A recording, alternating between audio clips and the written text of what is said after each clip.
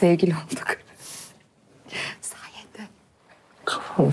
Oğlum senin hiç değerin yokmuş şu hayatta. Yok vallahi yok. Şey diyeceğim bu evi arınma evine çevireyim mi? Sen ciddisin bu işte galiba. Ciddi ciddi yapacağım açacağım kliniğimi. Oğlum saçma sapan konuşma ya.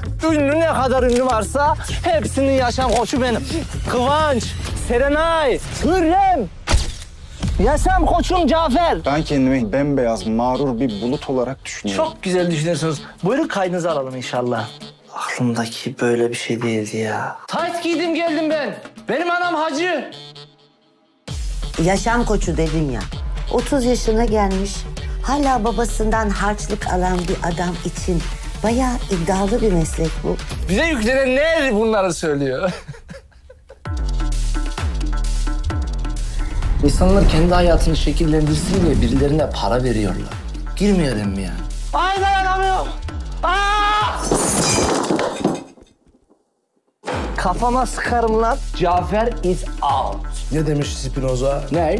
Yaşam koçu olamadım adam gibi ölüm koçu olacağım. Şurada öleyim. Zannetmiyorum.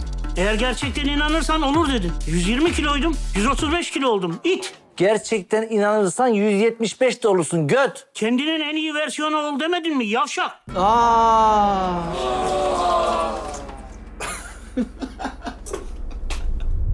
Dedemden bana uzanan karmayı kesiyorum. Ve dedemin kıtlık bilincini evrene salıyorum. Hocam ama evrende başı boş bir kıtlık bilinci dolaşıyor şimdi. Bir şey olmaz. İhtiyaç sahibi birini bulur bir aileyi Allah korusun daha da mağdur olurlar. Evrene salmayalım, yok edelim hocam.